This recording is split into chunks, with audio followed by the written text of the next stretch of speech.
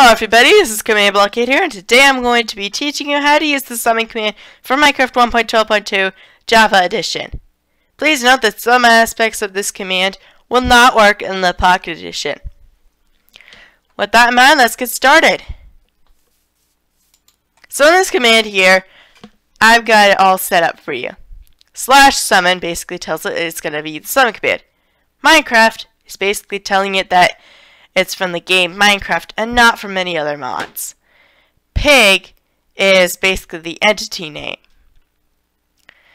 Tilde, tilde 1, tilde are coordinates.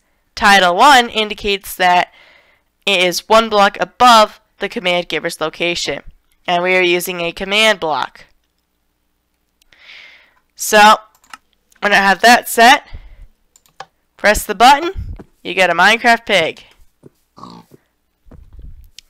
So that is it. It's very simple, but it, but it can be tr tricky to learn at first. You can do any number of uh, summons, and I've already got it up there, just so that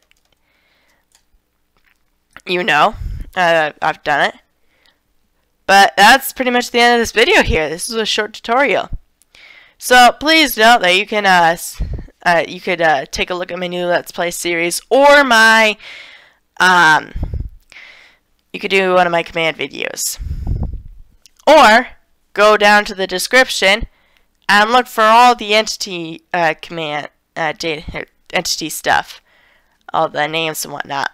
But that's the end of this video here. I hope you all enjoyed it, and I'll see you in another video. Bye.